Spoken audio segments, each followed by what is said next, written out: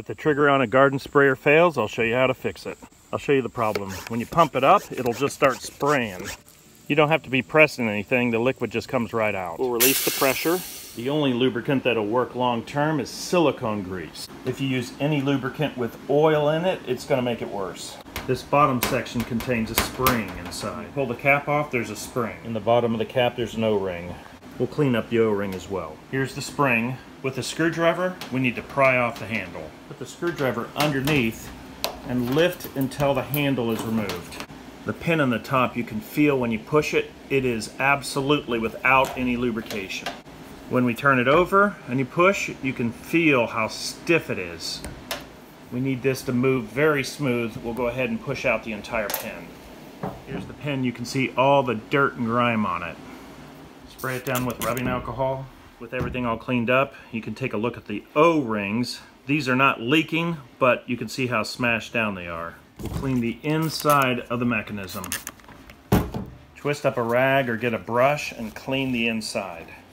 You can see it's really clean in there. Put a little silicone grease on the O-ring. Place it in the bottom of the sealing cap. Make sure it's well seated. Place lubrication on the seals distribute the lubrication, slide it back in with the handle up. This pin can go in either side, either this way or this way as long as this handle is up.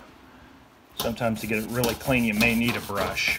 In this case there's buildup under the O-ring which is expanding out the O-ring too much so I need to get that cleaned out. That's a lot cleaner in there now. Now that I've got it cleaned up, the O-ring is not going to return to the correct shape. This O-ring is so brittle it just snapped, so I'm going to replace both of them. We'll locate the right size and slip them on. Those fit in there real nice. I pushed too hard and snapped it, so we're going to have to put a steel pin in. We'll heat up a piece of coat hanger, put it in this side, and then put it on the other side. We've got the one side on. We'll cut this off and put on the other side. We'll heat the wire up and push it together. We'll apply some epoxy glue and slide everything together. Make sure it's perfectly straight before the glue dries. Paper clip was a little thin, so I'm gonna get a bigger hole in there and put a coat hanger in instead. I can already feel that is gonna be a lot stronger. Obviously, it's usually not this complicated, but life happens. Drill, we'll clean it up with a jeweler's file. Slip the O-rings into place.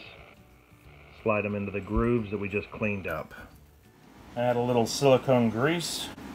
Now everything fits in there really nice and snug and moves.